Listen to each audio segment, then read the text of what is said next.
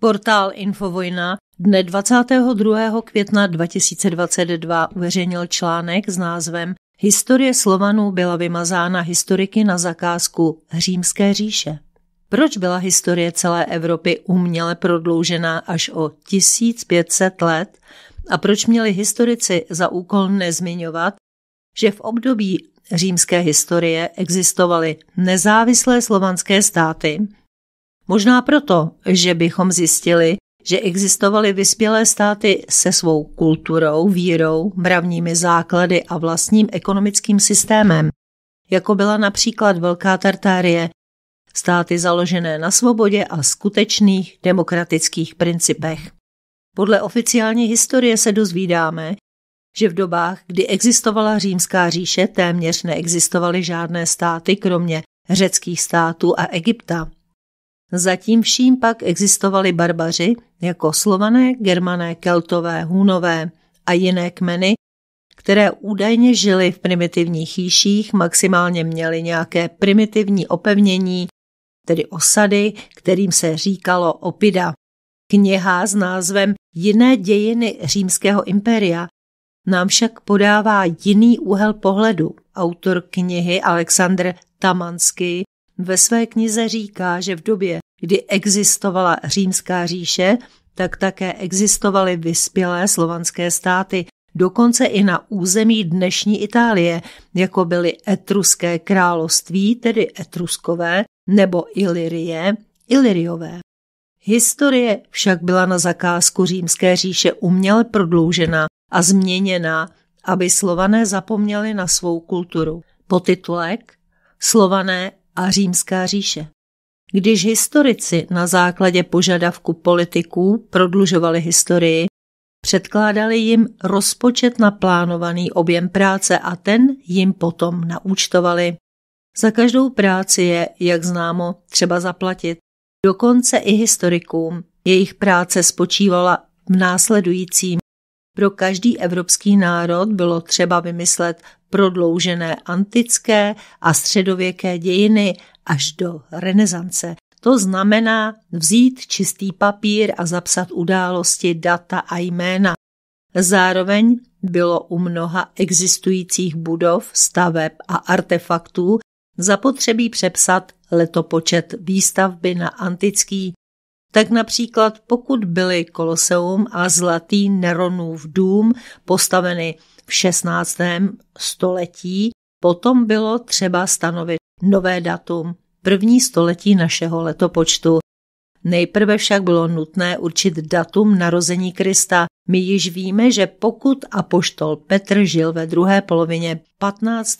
století až do počátku 16. století, potom ve druhé polovině 15. století žil i Ježíš Kristus, ale takové datování nevyhovovalo přepisovatelům dějin a letopočtu, které bylo za každou cenu zapotřebí prodloužit. Nejjednodušší by bylo prodloužit historii o tři až čtyři století, což je dost času na to, aby bylo možné z papežů sejmout hanebnou vinu za pronásledování křesťanů a to právě cestu přesunutí událostí a celé katolické církve o 300 až 400 let do minulosti. Zdá se však, že z jakéhosi důvodu ani katolíkům, ani protestantům, byl to jejich společný projekt, tato možnost nevyhovovala. A tehdy našli variantu, která se jim v té době jevila jako nejpřijatelnější, tedy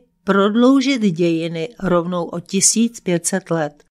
Podrobněji si o tom pohovoříme v kapitolách o juliánském a gregoriánském kalendáři.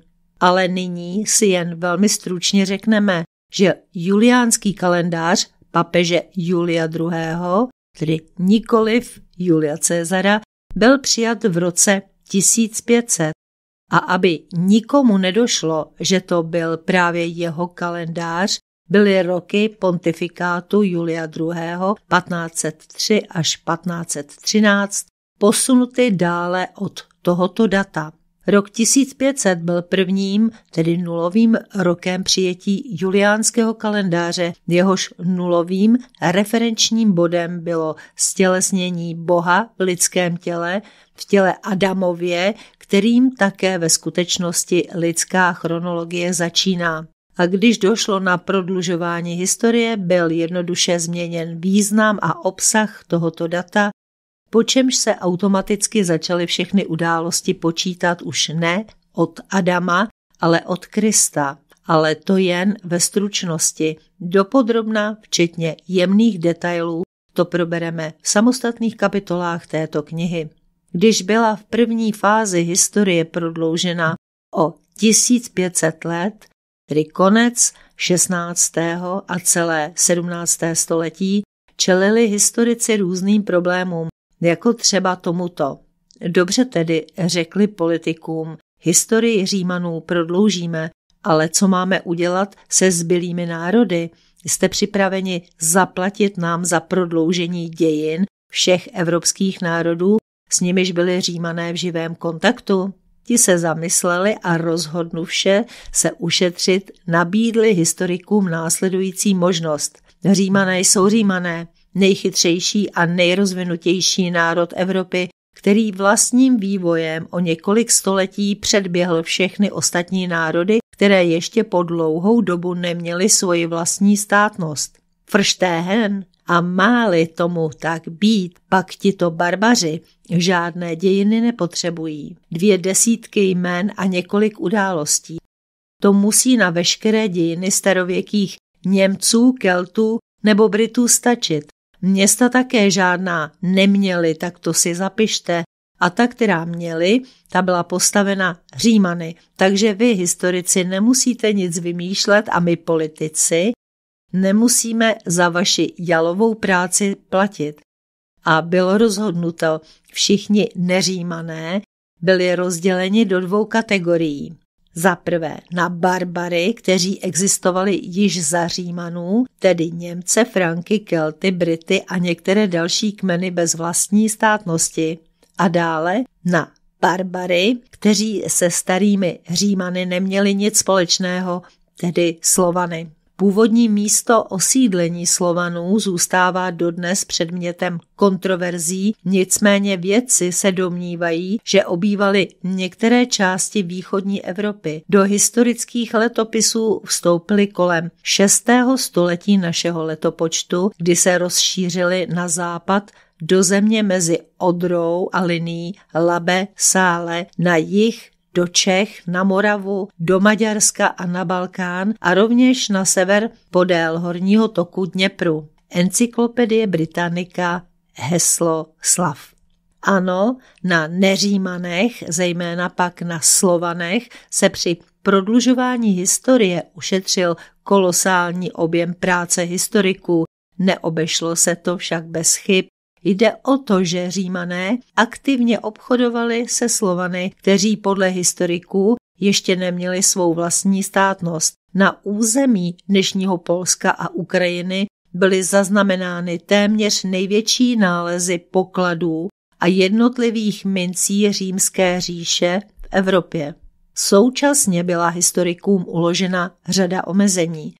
Za prvé, nezmiňovat státnost Slovanů v dobách římské říše a za druhé o Slovanech za éry starověkého Říma a římské říše mluvit co nejméně, jako by v té době ještě vůbec neexistovaly. Ale vůbec je nezmiňovat také nelze, protože artefaktů, které každoročně na území současných slovanských států země vydá, je spousta. Tedy historici přišli s takovým řešením. Když tedy nemůžeme mluvit o státnosti Slovanů, budeme zmiňovat pouze jejich artefakty, kterým budeme říkat archeologická kultura, aniž bychom zmiňovali konkrétní slovanský kmen. Archeologická kultura je soubor hmotných památek, které patří ke stejnému území a éře a mají společné rysy. Archeologická kultura bývá obvykle nazývána podle nějakého charakteristického rysu, který odlišuje od jiných.